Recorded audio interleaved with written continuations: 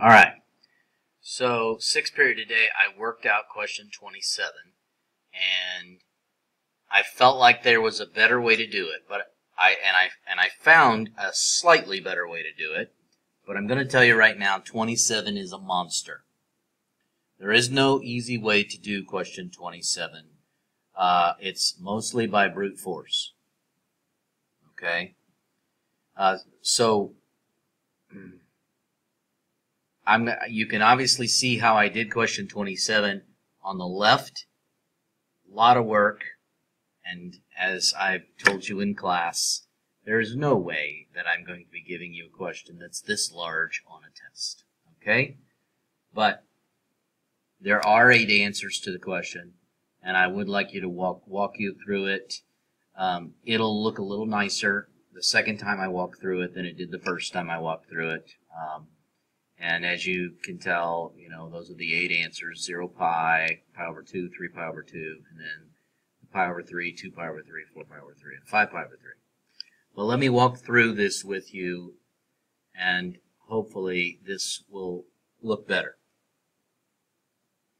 So we're actually going to um, look at this 4x or this sine 4x right here at like this. Um, we're going to do it like this. 2 times 2x. So we're going to treat it as a double angle, but it's going to be twice a double angle, if that makes sense. So, you know, you and I both know that to replace sine 2x, it's 2 sine x cosine x. But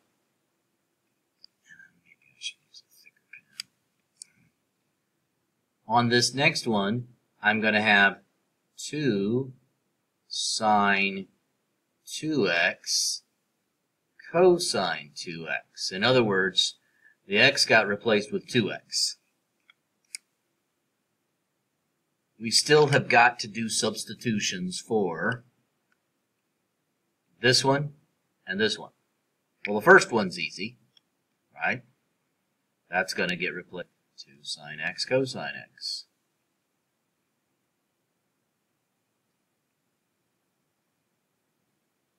Of course, there's another 2 right here, and eventually, obviously, we're going to multiply those together and get 4. Question is, what are we going to replace this thing with? And that that's the that's the issue here because there's three different choices. And if and if you look at my other version of it, when I did this other one, you can see that when I did the replacement, I replaced with cosine squared x minus sine squared x. And it created lots of ugliness in terms of the algebra. Okay? I think there's a better way to do it. Not that this is, you know, that much simpler, but it is a little bit simpler in my opinion. I'm going to go with the 2 cosine squared x minus 1. Okay? Uh, and of course I have this 2 sine x cosine x.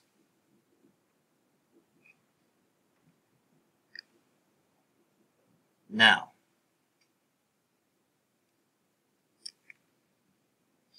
you've got one term here, you've got another term here. You need to think of them as two different terms. Okay? What's in common that you can pull out of both of them? I'm hoping that you see right here that there is a 2 sine x cosine x that you can pull out of both of them. In other words, we're factoring out a GCF. So 2 sine x cosine x plus Sorry. Formula's been a little tricky today. You've got your 2 that's sitting right there. That did not come out. Okay. Times 2, oops. Getting ahead of myself. 2 cosine squared. Come on. Cosine squared x minus 1.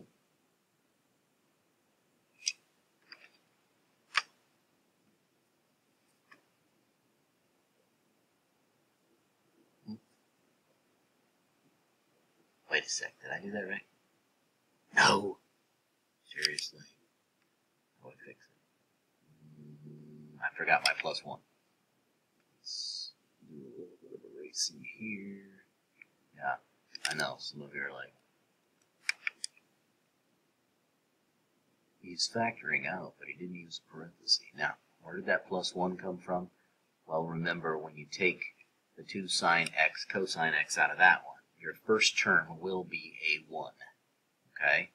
The second term will be that mess, which would be this times this. Okay, technically we now have it in factored form. We can set the two factors equal to 0 and solve.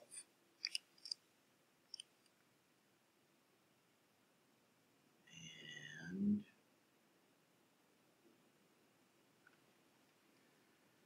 so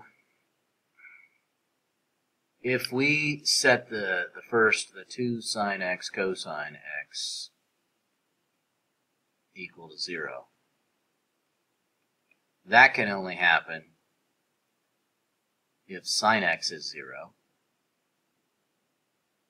or if cosine x is equal to 0. Like I said, GoFormula is being a little bit tricky today. Or this other thing equals 0. 1 plus... Uh, and I guess maybe I should maybe I should distribute that. Yeah, that um, got 1 plus that would be 4 cosine squared x um, minus 2 equals 0. And you can add like terms, and, and add like terms and move them to the other side. So that'd be 4 cosine squared.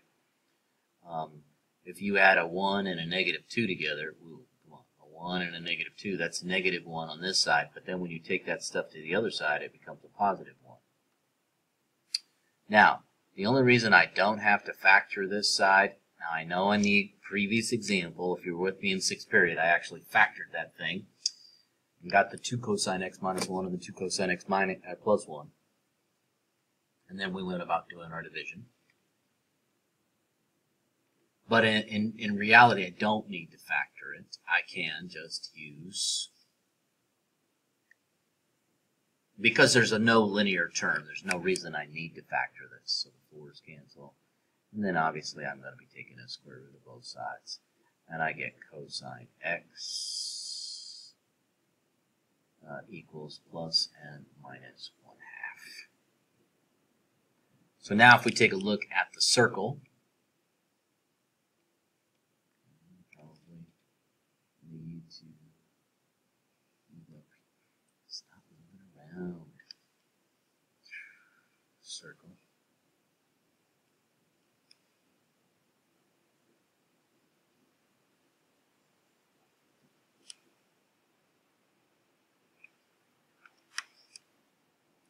Let's see, sine x being 0, sine is the y value, so if that occurred, that would occur here and here.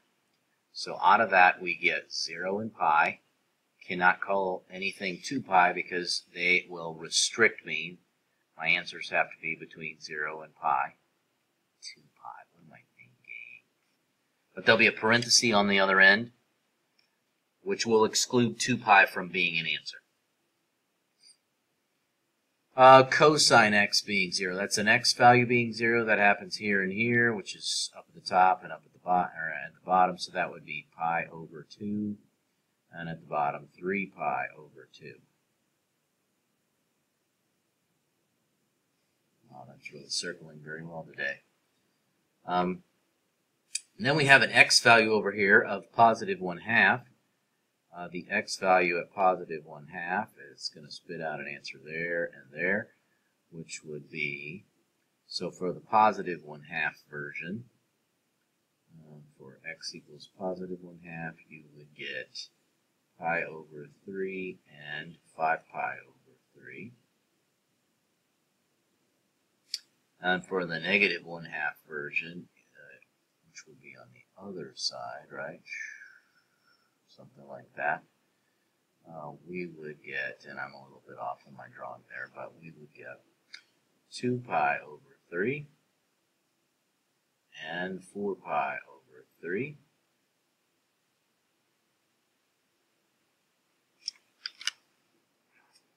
Eight different answers.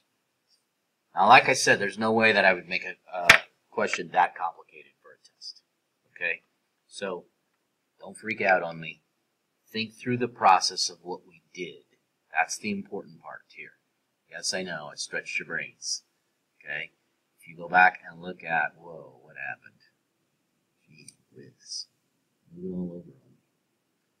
If you look at, at the, if you compare the two methods, one of them is a little bit easier to understand. Um, they both have similar properties, but um, one of them is definitely the one on the right to me is easier to understand, and it came from the major problem that I had that um, was what I substituted right there and right here for the cosine 2x. Um, but, so, I know, ugliness, ugliness, ugliness. You can understand everything that I went through in terms of substitutions and the algebra of what I was doing, you can handle anything I throw at you on a test. Okay. Uh, and uh, might as well just, whoa. Um, no, not that. Um, while I'm here, might as well just throw 25 at you. You can see on this one, I also, on 25, I also replaced, wait a second, how did I do that?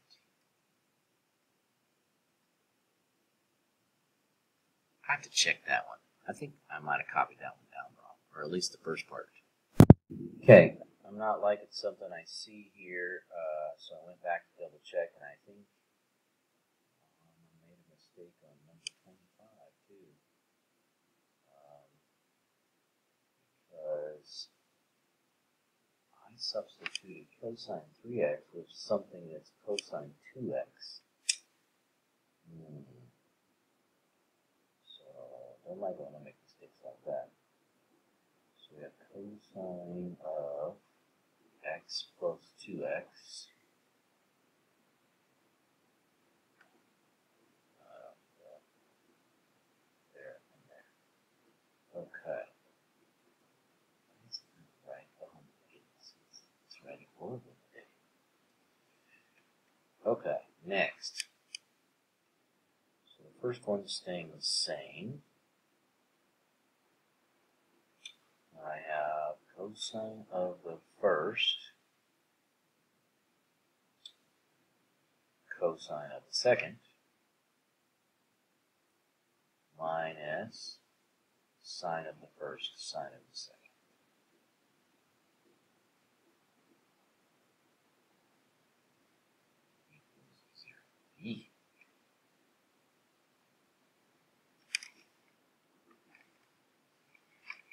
Hmm.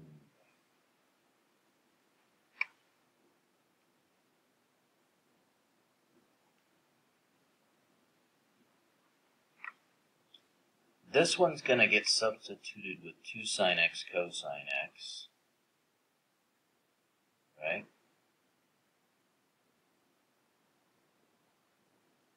Oh my goodness, right on screen today.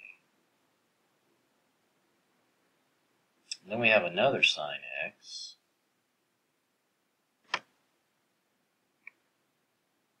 Might as just write these out. These are the out, and then I'll show you what's in common to all of them.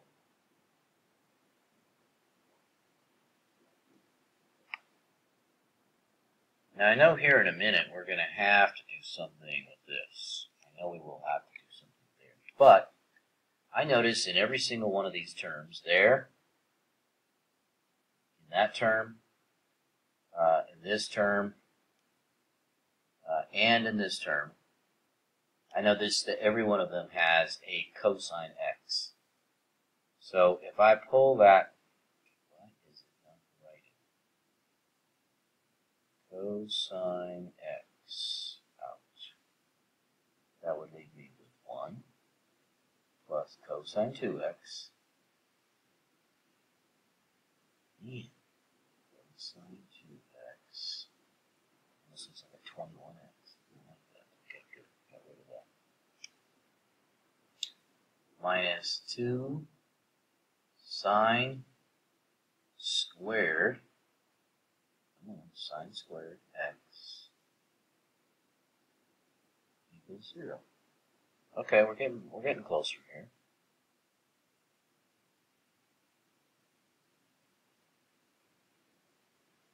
So the major decision is what are we going to replace with cosine 2x? And the clue, I think, is right there, in my opinion.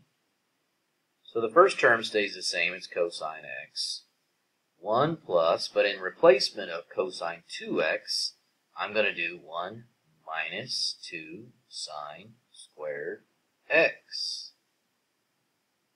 That whole thing got substituted. And then, of course, we got another minus 2 sine squared x equals 0.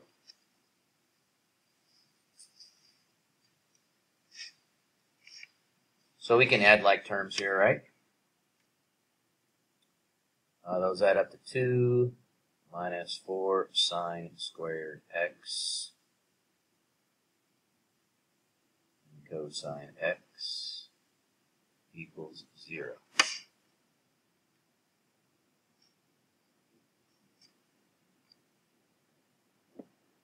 And let's see here. We can set the two factors equal to 0. Cosine x equals 0. And 2 minus 4 sine squared x equals 0. If we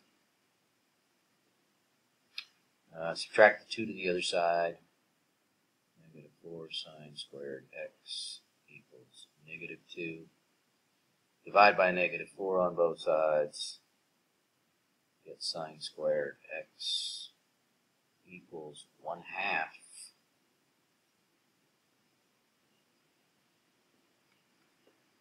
take the square root of both sides.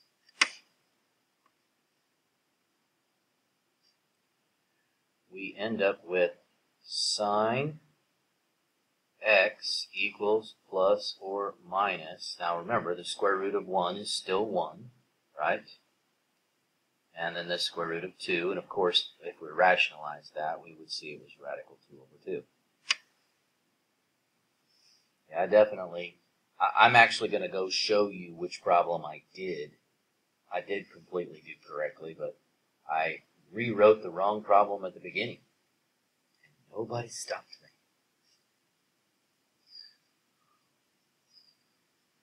so we're talking about cosine, that's the x value, x value is 0, so top and bottom, right here and here. So I know we're going to have pi over 2 and 3 pi over 2 as answers. Okay. y value at radical 2 over 2, um, y value at radical 2 over 2 there and there, y value at negative radical 2 over 2 there and there. So four more answers. The, the positive radical 2 over 2, uh, that's going to give me pi over 4, uh, 3 pi over 4. Gee whiz. And the negative radical 3 over 2. You know what? I'm just going to try to erase that surface. It's so horrible. Try it again. Okay.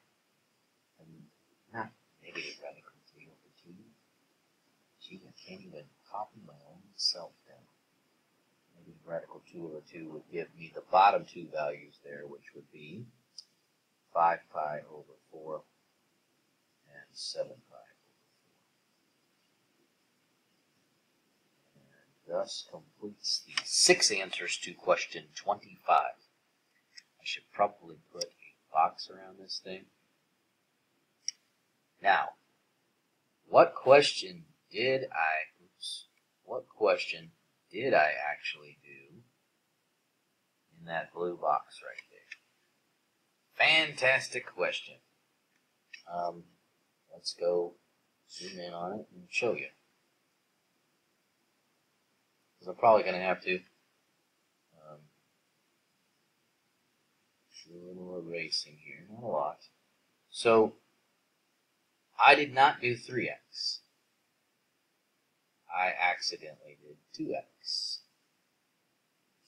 Which means that this wasn't one of the homework questions